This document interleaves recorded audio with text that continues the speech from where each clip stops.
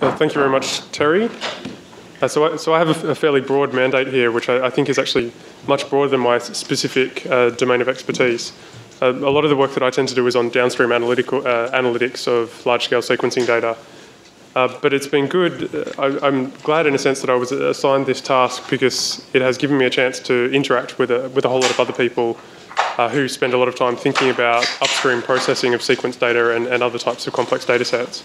And I just wanted to acknowledge up front that uh, a lot of what I'll be talking about today has derived from conversations with the, uh, the people up here on, on the slide, and uh, particularly to acknowledge the very fruitful discussions over the last few years with the Thousand Genomes Analysis Group, uh, which is, has really shaped my view of how we deal with large heterogeneous uh, sequencing datasets. So, so here we have this. This was the plausible uh, near future scenario that I considered as I as I started to, to think about the challenges of uh, aggregating sequence data from an informatic perspective. So, so let's imagine that we have exome sequence data. Uh, it could easily be whole genome data, uh, sequence data instead.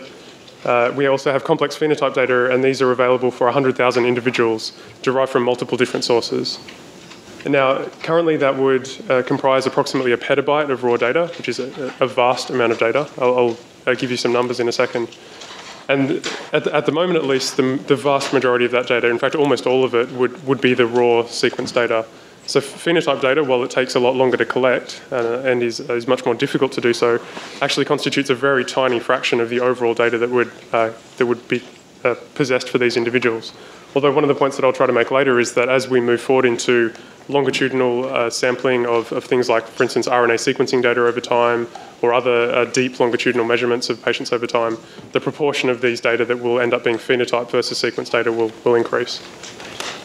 So, so the goals of, uh, in, in this context, I, I, think would be firstly to create accurate and consistent variant calls uh, that, that are consistent across all of the samples within this set, regardless of which source they came from. Uh, secondly, to uh, harmonise and clean the phenotype data, which of course is very difficult. And finally, and, perhaps most importantly, to make sure that the data are not just accessible to the community, but are actually usable. So that many different people, not just statistical geneticists, but biologists and people from pharmaceutical companies, can actually access the, can actually use these data to address their specific biological questions. So the, the four areas of, of key challenges that, that I saw emerging from this were Sorry, just realised I'm progressing in two different places. The, the four key challenges uh, that, I, that I think arise in this area are, are firstly in the area of logistics, and this is basically just around moving, storing, and processing very large data sets. Secondly, very importantly, harmonization, so how we actually pull together data from different sources and, and make it consistent across, across an entire cohort. Thirdly, analytical challenges, which, are, which have been addressed, I think, by, by other speakers very well, so I won't spend much, much time on that. Uh, and finally, and crucially, uh, issues associated with access and usability of, of the data. Okay, so in terms the first the first series of logistical challenges relate to data management. Um, so so here we have a, a, petabyte of raw data, and one of one of the first things that we will want to do with that data, of course, is move it from one place to another. And that turns out to actually be be uh, extremely difficult. So even in the era where uh, generating 100,000 exomes is no longer inconceivable. Actually, moving that data is pretty tough, even with a, a very high bandwidth connection, a 10 gigabit connection, uh, such as the one that we use at the Broad for, for moving data around. Shifting 100,000 exomes would take on the order of one to six months, uh, depending, on, depending on exactly how you do that. And in, in fact, uh, interestingly, it may actually be more uh, time effective to simply fill a truck full of hard drives, one terabyte hard drives, drive that to the facility, pay someone to sit there and download the data into those hard drives, load the truck back up and drive it back to wherever you, you need to have it delivered. So it's sort of, sort of ironic that we're living in this high tech world and yet delivery of data by road is, is, is more cost effective. The, uh, data, data storage is not free. Uh, I, I, got uh, different numbers and different estimates of exactly how much it costs to store these data. It depends on whether they need to be access accessible from high performance disks, but it, it could cost uh, up to a million dollars a year to keep 100,000 uh, exomes. The, these numbers will be roughly tenfold higher for whole genome sequence data uh, on, on average. Uh, importantly, though, we can actually drop these numbers substantially by applying different compression algorithms, and I'll, I'll go through one, one such algorithm later. Now, importantly, although these numbers are daunting, the, the community now has very extensive experience in handling large data sets, not quite on this scale, but certainly in the tens of thousands of, of exomes. Uh, all of these logistical problems are, are, soluble. I think they're, they're eminently soluble, and most of them don't actually require developing fundamentally new methods. The, second set of logistical challenges relates to uh, QC and metadata.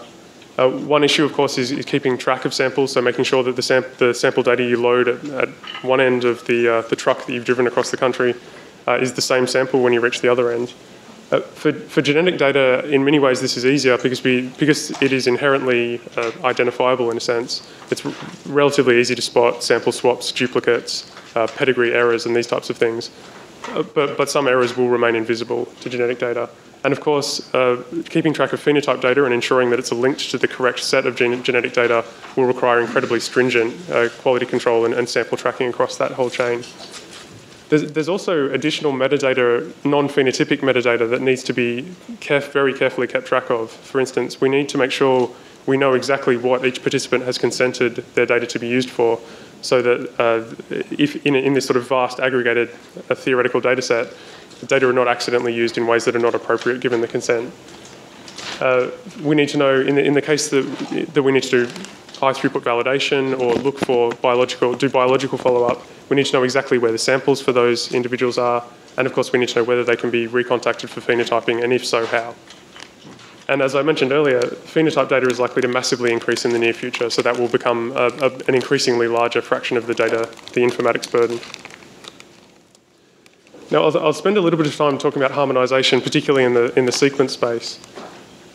The key, the need for harmonisation is driven by the fact that both sequence and phenotype data are, uh, for various reasons, some of which are sane and, and others of which are not, uh, these, these data are gen generated inconsistently between studies. And this lack of consistency really hampers and in some cases actually destroys our ability to draw useful conclusions across uh, various studies. Uh, it's, it's very difficult, as Chris O'Donnell mentioned, uh, it's very difficult to approach phenotype harmonisation uh, using current methods. And as we start to aggregate larger and larger numbers of studies together, that will become an increasing bottleneck. And it seems to me uh, that the, the, the, current approach may end up not being scalable to, to very large uh, aggregated, aggregated data sets. So approaches based on machine learning or uh, may, may end up having to move in, and while those will be noisier, that may be the only way in which we can actually pull these phenotypes together.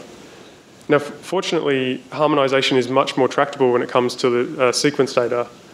But the key thing here is that in order to make, uh, in order for harmonisation to occur for sequence data, data processing and variant calling has to be done in a centralised way.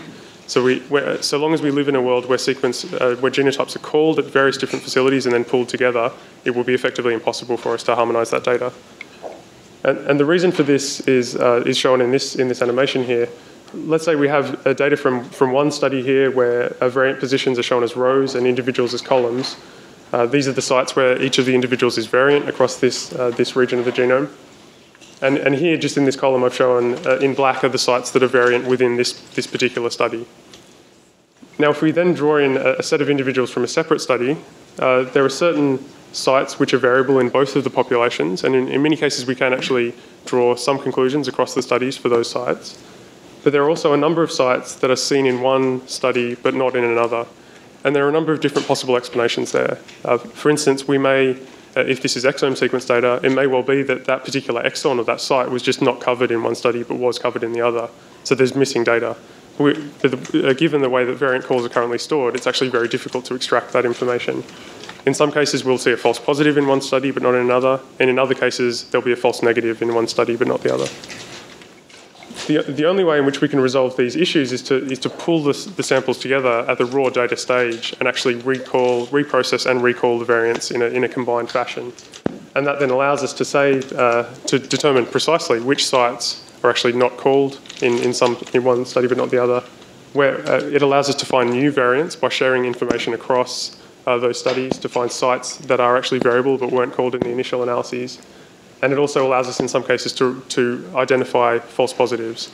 So, so in this case, what, what happens is by sharing information across all of the samples together, we, can, we can reduce the evidence for a false positive site in one of those studies. Now, uh, here I'm showing the, uh, the pipe, uh, pipeline for data sequence data processing that's currently used at the Broad. Uh, many other centres' pipelines can also be shown. I, I apologise, this is the, the, sort of standard overly complicated uh, processing pipeline. But the key, the key features here are that firstly, there is a, a step that uh, we go through on a, on a per sample level where data are, uh, are called, uh, are basically processed, analysed and, and recalibrated. And then crucially, there's a step in the middle here, the variant calling step, where we actually batch together a whole large number of samples between one and n, n samples, where n can be arbitrarily large, as I'll show in a second. And, and variant, variant calling is then done by sharing in information among all of these samples together. Uh, and that then allows us to, to get much more powerful estimates of, um, of which sites are variant and also to rule out particular error modes. And then finally, in, in the third phase of the pipeline, we integrate together uh, all of the, the uh, variants called from each of these individuals with external sources of data, recalibrate the variants, and that then gives us our, our final uh, data set of sequence variants. So it, it's, it's critical that this, this step here is actually done on many different samples together. The standard approach now at the Broad is to do uh, this variant calling on 100 samples in, in one batch. But uh, one of the questions that we've been asking over the last six months is, is whether this can be extended to much larger sample sets. And so the, uh, the only way in which this can be done is by reducing the amount of information that's present in each sample. And here you can see uh, for, for a, a, a, high coverage genome sequence data, this is a, a, read file. So each of these orange horizontal lines is actually an individual read uh, piled up across a region of the genome. Now, in most regions of the genome, say this region here, uh, this individual appears to be homozygous for the reference sequence at, at all of the regions across here. And, and we can actually relatively confidently say this is a well behaved region, this individual's homozygous reference and just collapse that region down into a single read that contains some quality information, but basically it loses, discards a lot of the information, redundant information that's carried here. And, the, and then what's kept are only the reads that pile up around these variable positions where we see evidence for a heterozygous variant or perhaps some more complex variant that's present in that individual.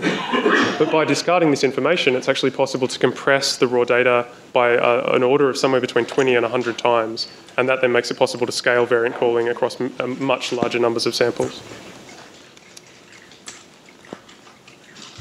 So uh, as a, as a pilot analysis, a proof of principle of uh, scaling this type of analysis up, uh, I've been working with uh, Mark DePristo and uh, Khalid Shakir on a, a, pilot test just looking at chromosome 1, so about 10% of the genome, in 16,500 exomes.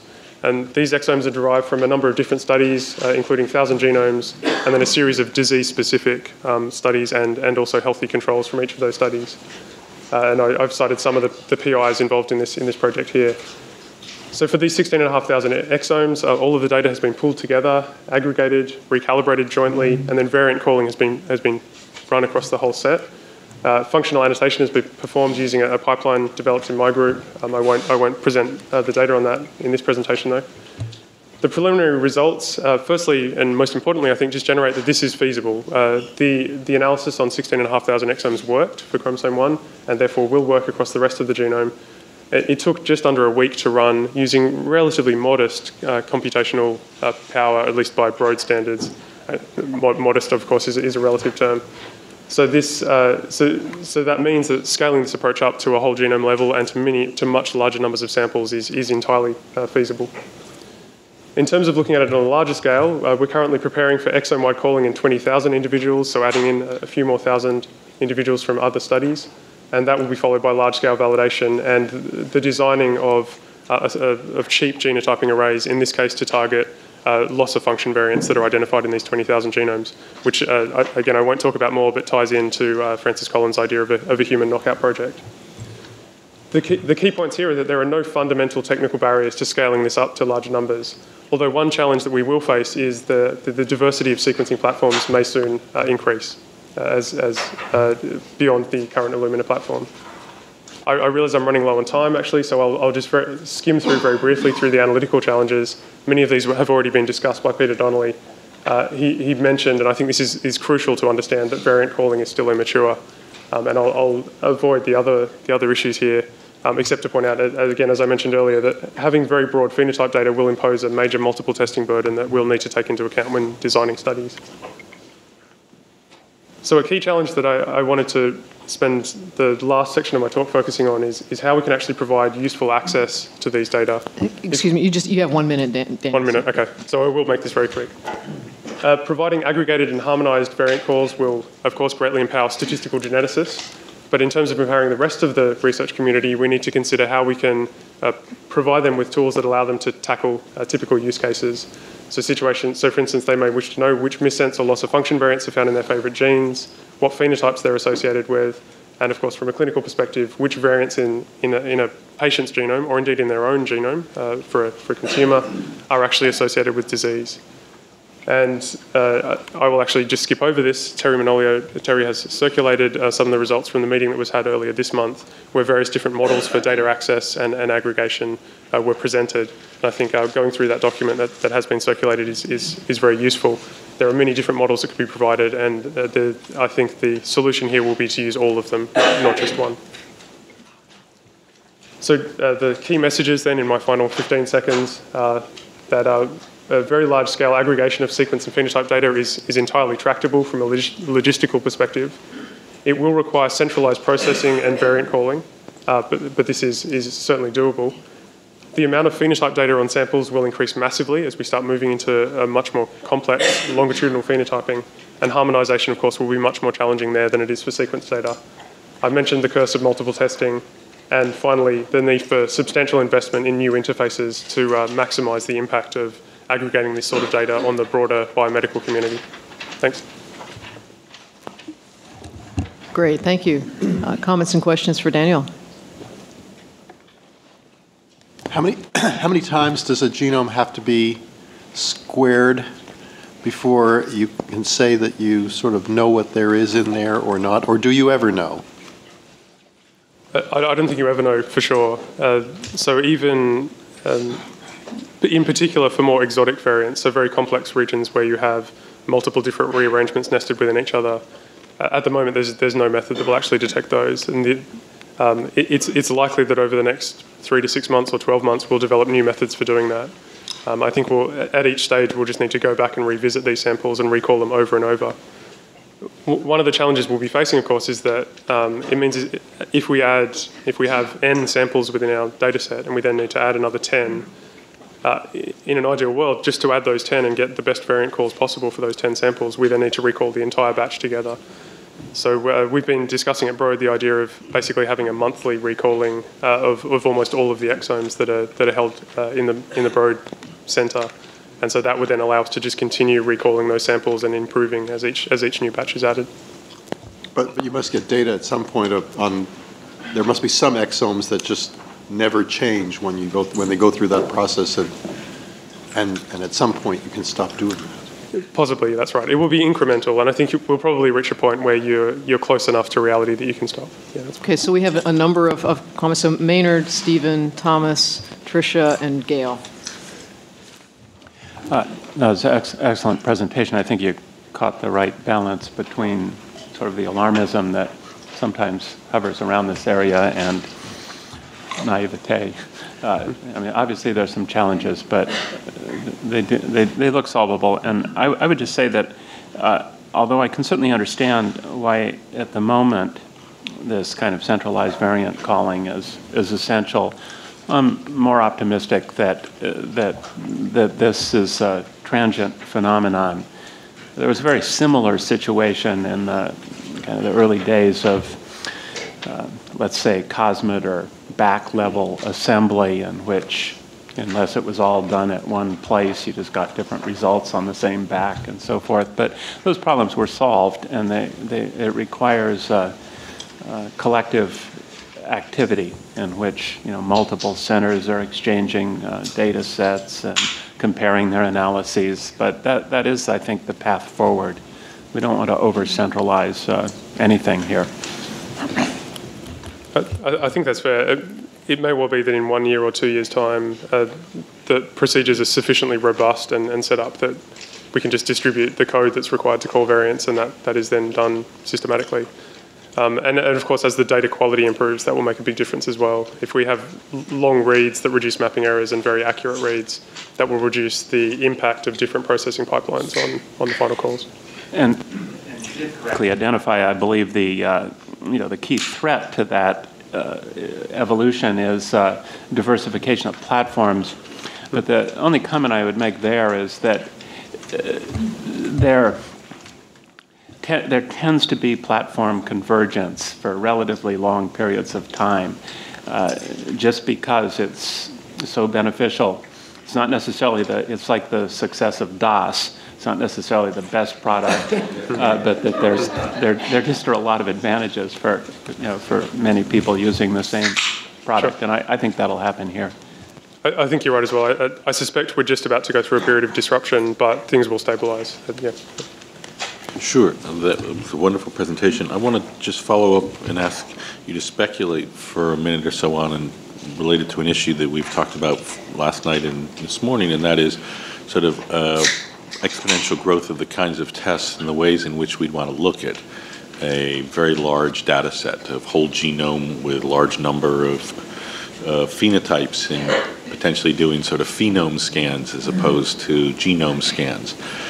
How do you foresee the next two to three years in terms of the computational capabilities of doing that? Or are they going to be so large, you know, and so cumbersome, as you just described, how it, how much effort it took to do one chromosome one week, you know, a very distinguished group of people spending a lot of time converging on that, you know, at some point this is all going to be very trivial, but is that to be five, ten, or 15 years from now? And, and if we do these kinds of large-scale sequencing, there is a certain uh, degree of, uh, of everybody being, you know, focused on getting results right away and not saying, oh, it'll take us three years to analyze what we want because as the sequence data comes off, uh, we want to start looking right away. So can you sort of speak to that problem of, of only a few people as opposed to a lot of people and how much it's going to take to transition to having many do it?